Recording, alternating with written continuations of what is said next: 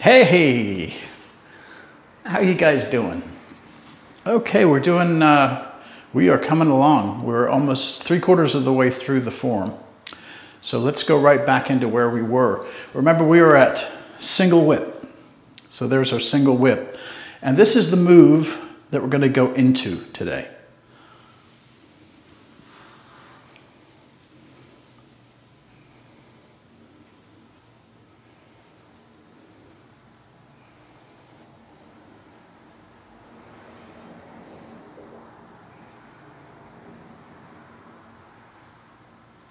Isn't that beautiful? That's called Wave Hands Like Clouds. It's an amazing, uh, just to do on its own. Incredible way of reducing stress, just uh, realigning yourself, grounding yourself. It's really amazing. Wave hands like clouds. So we're going to learn that today. This is going to be a long video. I hate to say. I was trying to figure out a way to break this up but it just doesn't work because we have to work on the actual movement and then we have to work on the transition from here to here because it's a little bit tricky. But anyway, so let's work on the, the move itself. Before I get going, I'd like to say I like to give credit where credit's due. I learned this kind of a cool illustration. It's not directly from him, but Rich Marantz. He has a YouTube channel. If you want to check out his YouTube channel, I'll, I'll put a link under to the channel.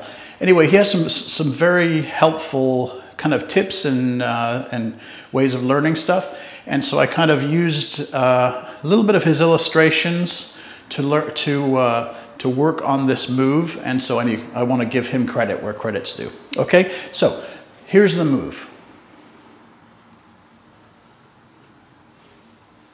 This is wave hands like clouds.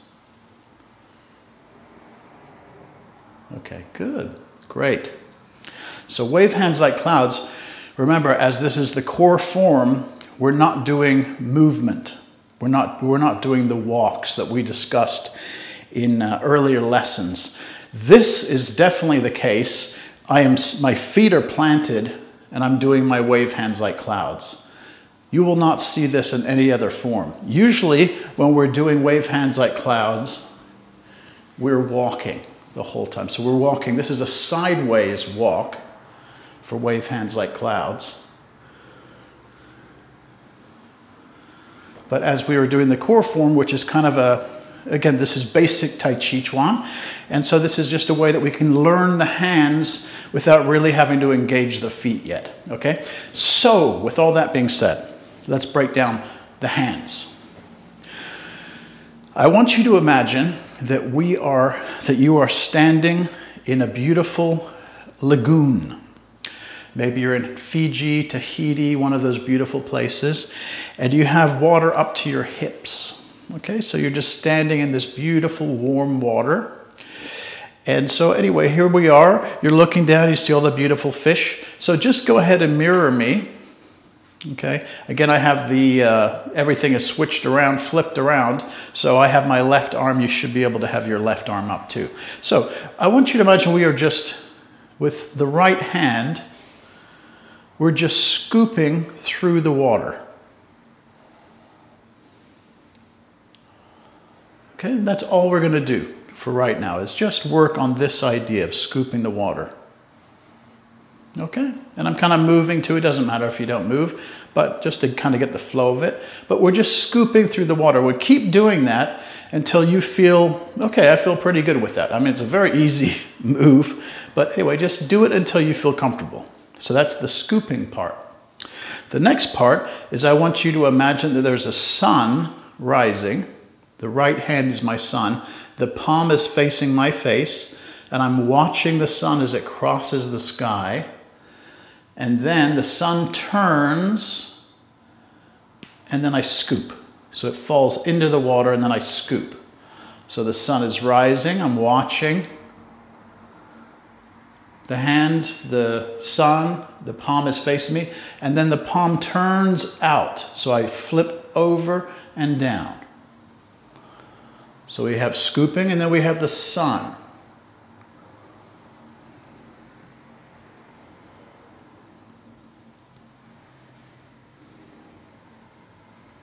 Okay, that's it. It wasn't so bad, right? Okay, so let's do the other side.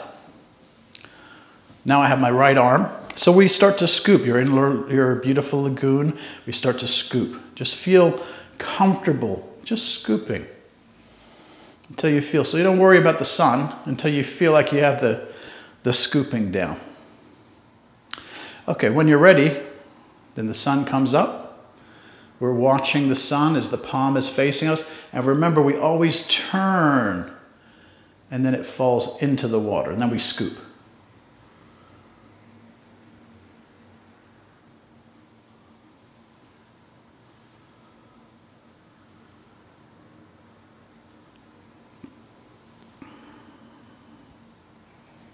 Don't worry, we'll add layers to this about the breath and all different kinds of things. But so let's just do this. There it is. Okay, so that's it, both sides. Now, here's where we get into this. We have to throw them both together. Both sides have to work together. So we can start real slow. And I, don't worry, don't get too uh, kerfuffled because I'm going to give you some signposts and pointers to watch out for that might help. I wouldn't do this until you feel very confident doing that on both sides. But the first signpost or the first uh, little check box you want to check off, I want you to imagine we have a big bowl of water in front of our body here, and I'm taking water and I'm washing my face. There's a big basin of water. I'm washing my face with this water. Okay, so I'm bringing my hands up to wash my face.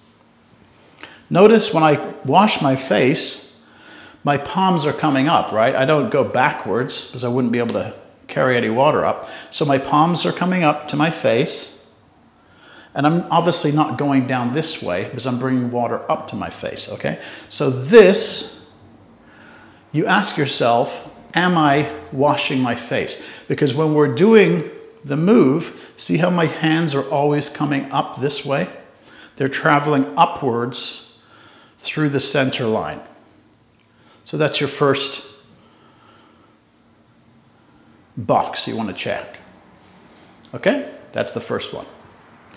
The second one you want to check is when you have one hand is up here, so the sun, you know, it's at 12 o'clock. This hand is all the way down at the bottom of my scoop. So basically 12 o'clock and 6 o'clock. 12 o'clock, 6 o'clock. Scoop, 12 o'clock, 6 o'clock.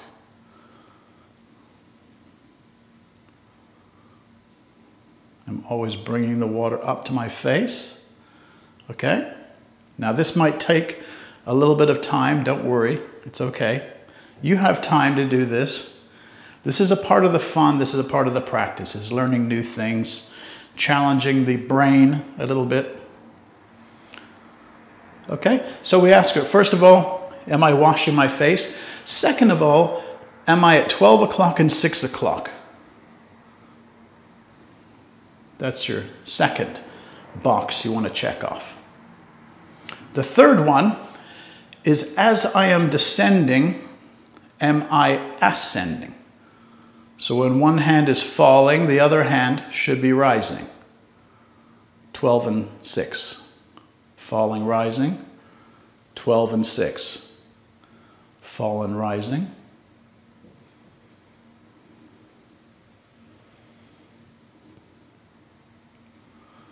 Okay?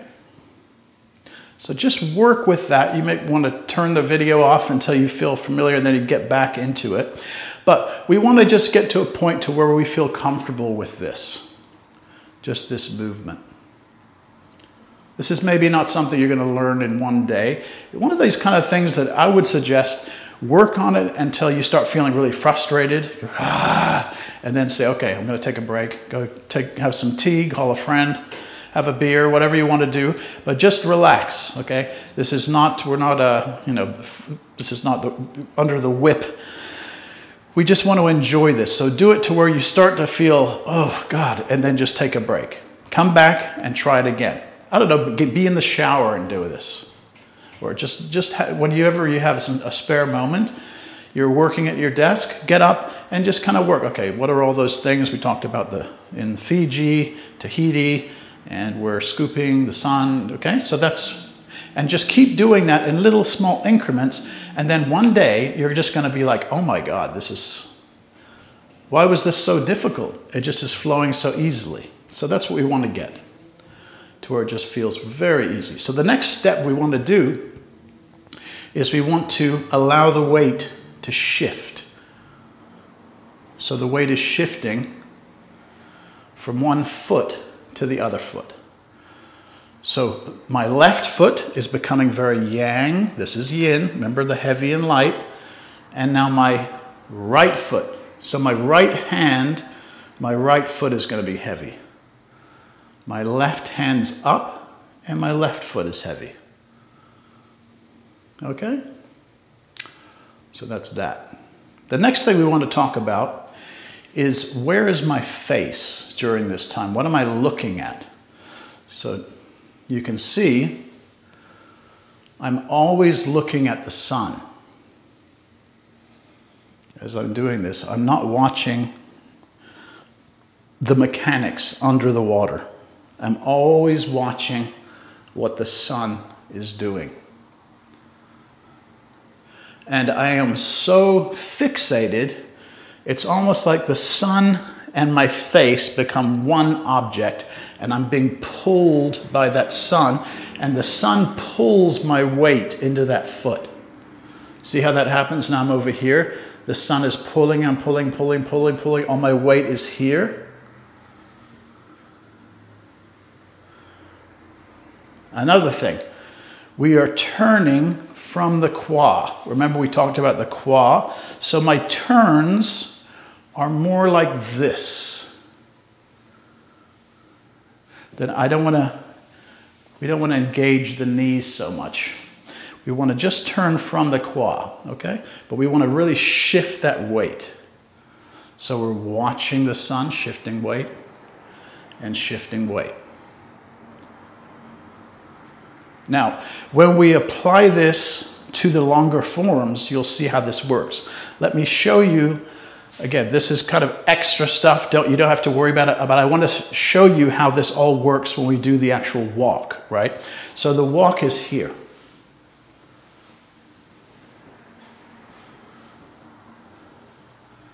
Now, how can I do this where it's so kind of graceful? It's very easy. As I'm moving, remember my face, I'm stuck here. Remember, when we want to walk, we always have to have the yang leg, which is the heavy leg, is our foundation, our tree. So we always want to move from the yin leg, which is the, you know, the black and white, it's the, the, the black side. That's the yin. We always want to move from the yin foot. We don't want to move the yang foot because that's the, right? That's the, the mountain. So when we are going to walk this way, my weight is here, and then I step, I can step out with my left foot. Now I bring the weight over to the left, and that allows me to step in. Now I bring the weight over to the right, that helps me step out. See how this works? And then go the other way. I want to move that way. This has to be heavy so I can move this leg out, right? So here we go. All my weight is on the left, so I can step out with the right. All the weight is on the right, so I can step in with the left. The weight is on the left.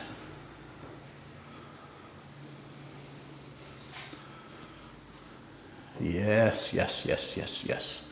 Okay, so that's basically how it works. One last thing.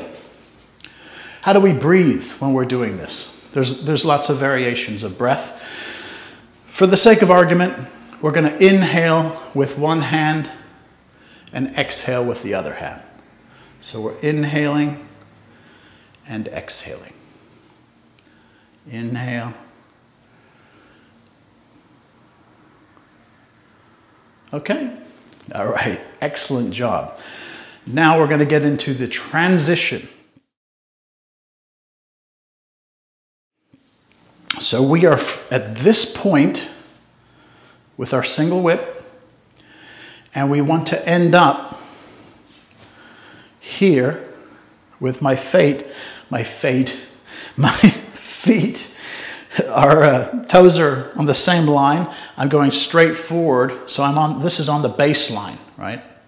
So I'm I'm going from in a front stance, heading to the west, and then I'm going to end up being on the baseline, heading north, and doing my wave waving hands. So how do we do that? Let's use the economy of motion. Let me show you how it works first. Notice if you can see some adjustments.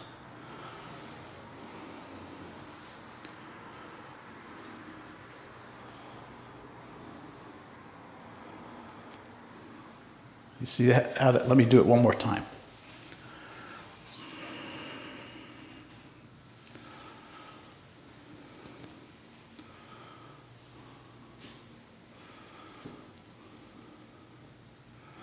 See how that happened? So, to start out with, forget about the hands for a moment. We're here. Here's just the footwork.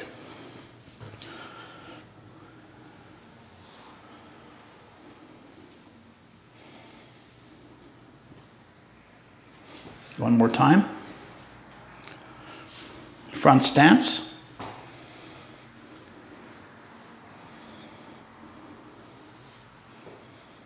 Haha, see? okay, so let, us break it down. We're in our front stance. My left leg is, is straight ahead. So I pour my weight back into the right leg. The weight back in the right leg allows my left leg to become yin. And now I can move, I pivot that foot. So now this is facing the direction I want. That's exactly where it wants to be. I don't have to move that after that. So from here, pour the weight back, pivot on the left heel, okay? Now we're in a completely weird position, but we're gonna fix that. So now I pour the weight into the left leg. Now this is yang, this is yin. And this allows me to pull my right leg back to where I'm now shoulder width, both legs this way. Because right now I'm on a railroad track. My left leg is further back, my right leg is forward. So when I turn, this leg, I, they both need to be on the same railroad track, right? Which is the, the one that's on the left foot. So I have to pull that right leg back. So here we go. Turn. All of my weight's on the right. I shift the weight to the left, and then I can just pull that right leg back, and then I begin to wave hands like clouds. This is all considered the transition. And now I start. One. Okay? And now I count, when I'm doing my wave hands like clouds, I count my right hand three times. So I count one, two, and three. Right hand, okay? Let's do this one more time. From here, so let's add the hands with this. As I pull the weight back, this hand, the right hand just kind of floats there. The left hand is, it's kind of already starting to scoop.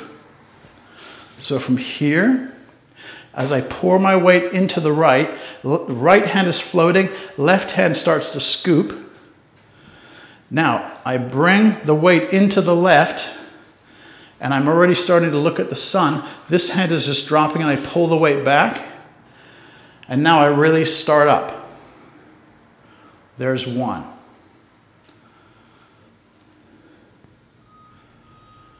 And two. Let's see that again. So from here, we pull the weight back to the right. Right hand floats, left hand comes up, and then we bring it here so I can slide that right foot back. And now we start. One, two. Let's do that a couple more times. Let me do it from this angle. See if it'll maybe help a little bit. So from here,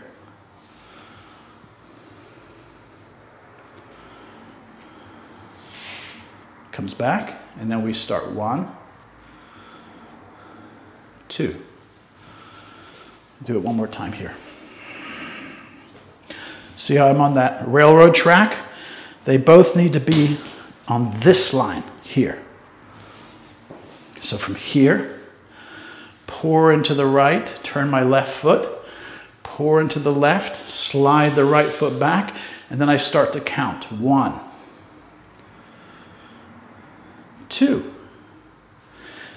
We're getting it, right? Okay, so let's do it one last time. We're going to count, and then we're going to set up for our kick, which is next week.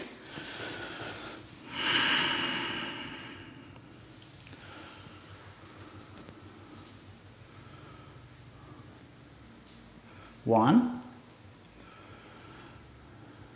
two, three. All the weight goes into the left leg. Pour it into the left and the left because then we're going to bring it up and then we're going to kick with the right foot. But that comes next week. We've done enough here today. Well, just one more thing. Let's bring in the breath. Here's our exhale.